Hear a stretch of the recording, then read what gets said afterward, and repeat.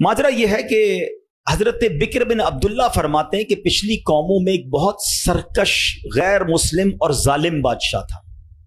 वो अल्लाह पाक की नाफरमानी में हद से बड़ा हुआ था। एक मरतबा एक जंग में बादशाह को गिरफ़्तार कर लिया गया। अब इतना जालिम था कि जिन्होंने गिरफ़्तार किया था, उन्होंने कहा, अब इस जालिम बादशाह को तो तड़पा तड़पा के मारना है। तो तय ये पाया कि इसको ऐसा करो कि तांबे की एक देग में डालते हैं और उसको ऊँची जगह पर लटकाते हैं और नीचे आग जलाते हैं। ताकि ये जल भून कर मर जाए। ऐसे ही किया गया। तांबे की देग बनाई गई, नीचे आग लगा दी गई। अब आहिस्ता आहिस्ता जो है वो देग गर्म हुई। बादशाह की हालत खराब। पूरी देख गर्म हो जाए तो जिसम झुलसने लगा। उसने पहले तो झूठे खुदाओं को पुकारा। मगर जिस सारी ज़िंदगी जिनके आगे पेशानी रगड़ी थी, उन्होंने क्या जवाब देना था? किसी ने कोई जवाब नहीं दिया, कोई मदद नहीं आई। अल्लाह अकबर। अब जब सब उम्मीदें टूट गई ना सब उसको पता चल गया कि अब मेरा आखिरी वक्त आ गया, अब मैं गया, अब मैं मारा जाऊँगा। तो अब ये बादशाह जो था मुसलमान नहीं था। इसने मुसलमानों के रब, यानी खुदा वंदे कुद्दूस को पुकारना शुरू कर दिया। वो कहता है, या अल्लाह, या रहमान, या रहीम, मदद फरमा दे और बुलंद आवाज़ से ला इल्लल्लाह पढ़ना शुरू कर दिया।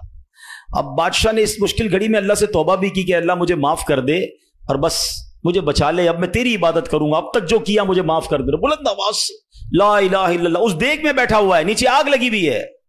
देखो, करीम ने उसकी पुकार कैसे सुनी कि बारिश बरसना शुरू हो गई। जैसे बारिश बरसी तो वो आग बुझ गई तो वो गर्मी तो ऑलमोस्ट खत्म हो गई। लेकिन फिर इतनी तेज हवा चली कि वो देग रस्सियाँ तोड़ाकर देग उड़ने लगी। अच्छा वो बादशाह ला इल्लल्लाह ला इल्लल्लाह की आवाज़ें बुलंद कर रहा है और देग उड़ रही है। अब देख उड़ते उड़ते उड़ते गैर मुस्लिम कौम का जो कबीला था, वहाँ जाके पहुँच गिर गई। अब जब वहाँ गई तो लोग हैरान कि ये कैसी देग है जो उड़ते हुए आ रही है। और उसमें एक बंदा बैठा हुआ, वो ला इला इल्लल्लाह, ला इला इल्लल्लाह पढ़ रहा है। तो जब वो गैर मुस्लिम करीब आए तो उस बादशाह ने बाहर निकलकर अपना वाक्य सुनाया कि सुनो, मैं गैर मुस्लिम था अपने अल्लाह के सिवा झूठे खुदाओं की पूजा करता था। मैंने कलमा पढ़ा, अल्लाह ने इस मुसीबत से निकाल दिया और मुझे यहाँ पहुँचा दिया। पूरा गाँव कलमा पढ़कर मुसलमान हो गया। अल्लाह की अल्लाह की जो ना कुदरत के नज़ारे हैं, अल्लाह ऐसे निकालता है बंदे को कि समझ भी नहीं आती। बात वही है कि दिल से उसे पुकारना है, मगर दिल से गिर गिड़ा कर तवज्जो के साथ, फोकस के साथ फिर देखो आपकी मुश्किलें कैसे टल जाती हैं।